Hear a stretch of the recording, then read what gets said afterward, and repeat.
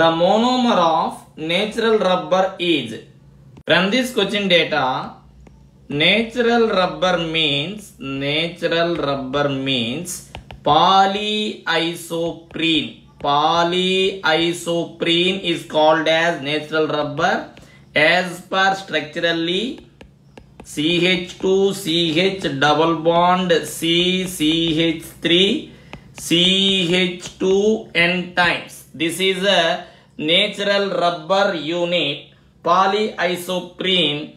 The monomer is isoprene. Monomer is isoprene. Isoprene means 2 methyl 1 3 butadiene 2 methyl 1 3 butadiene that means n ch2 double bond c ch3 ch double bond ch2 undergoes polymerization in presence of sodium or oxygen or peroxide.